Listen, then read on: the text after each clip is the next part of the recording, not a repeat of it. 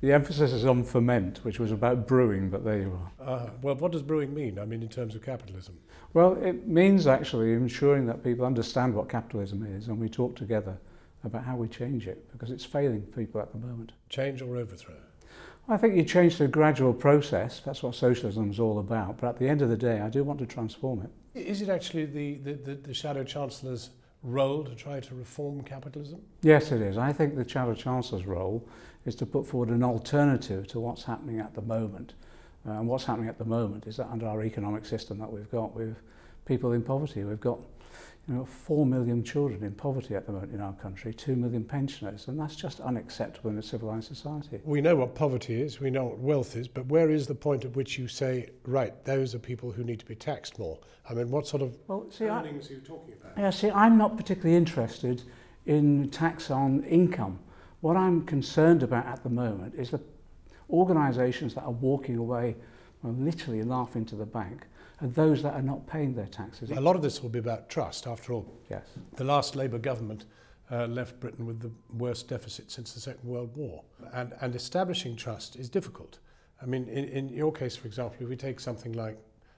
what you've said about the IRA, people will find that very hard to understand. Why would one honour the IRA and their guns and bullets, to quote you? Yeah, that needs explaining quite a bit, and I'll do it briefly if you don't mind. Um, this was 13 years ago. at a time when the peace process was on extremely fragile. Some of us had to go out and sell that peace process. And we were worried at that stage that if elements within the IRA, the Republican movement, thought they were going to be humiliated and defeated, there would be a major split. And in that way, the bombings and the military campaign would continue on. So some of us had to go out there, I might not have chosen the right words, but actually explain to them that they could stand down with dignity. They weren't being defeated, they were standing down, they could put their weapons aside. And I was saying that to both sides. Now I know as a result of that, I got attacked, but actually it worked. And if it saved one life, it was worth it. Are you surprised that people are somewhat queasy about your appointment? Oh no, not at all. Why, why shouldn't they be? You know, I'm a backbencher.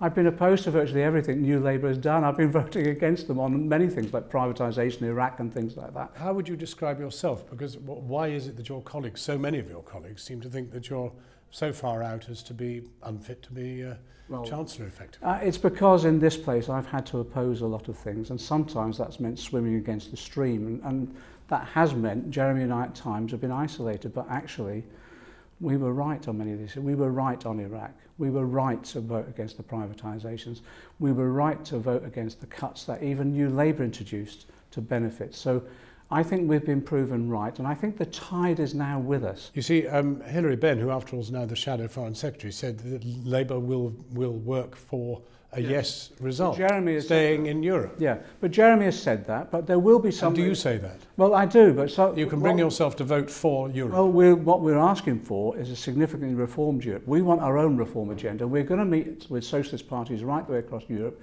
to look at that reform agenda. But there will be members of the Parliamentary Labour Party who are campaigning now for knowing that referendum. You've got to respect their views. How do you feel about the fact that a woman doesn't have your job? Well, we've now announced the shadow cabinet. It's 16 women and 15 men. That's a historic breakthrough. I've heard all this thing about uh, none of the four top jobs are, uh, uh, uh, occupied by women. Jeremy said quite clearly, that's, there's no top jobs. That's archaic. That's like something from the 19th century when government only invaded places or just had a police force or managed a small budget. Now the real jobs, I think, are about the delivery of services like health and education. And all those key jobs, there are women. for many of the issues that you've, you've pursued, the media have been uh, hardly you know, there, but they're now very there. Uh, how, how do you feel about the way you and Jeremy Corbyn have been treated in the last couple of months? Um, we've managed to break through to have a proper political debate, but largely as a result of the public meetings we've held, and the social media. Years ago, we never had Twitter, we never had emails on this scale, we never had websites. Now we've created our own media, and that's enabled a better political debate. Some of the media have, have done their usual thing, they've, they've personalised it, etc.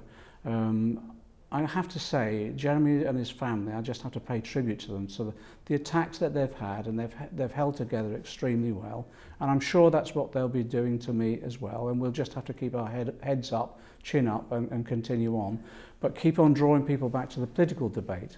And to be frank, the political debate that we've had over the last three months as part of the leadership campaign has just stimulated. It's just been phenomenal. You know, when did we last see a thousand people turning up at a public meeting and still banging at the door wanting to get in? I just think it's tremendous. Finally, will the system allow you to survive? Do you want to survive? Do you want to do five years? Do you want to, do you want to be Chancellor of the Exchequer? Oh yes, this is this is a serious endeavour to go back into government. But we'll only go back into government if we ensure that people have confidence in us in managing the economy. That's why we're putting forward a very concrete alternative. I want to give people confidence that we can manage the economy better than any other political party, but we can manage it in the interests of ordinary working people, middle, middle and low earners, so that actually, yes, we are ensuring that they have a prosperous future. But we need to do that on the basis of real democratic engagement. We've done that during this campaign. I want to maintain that momentum.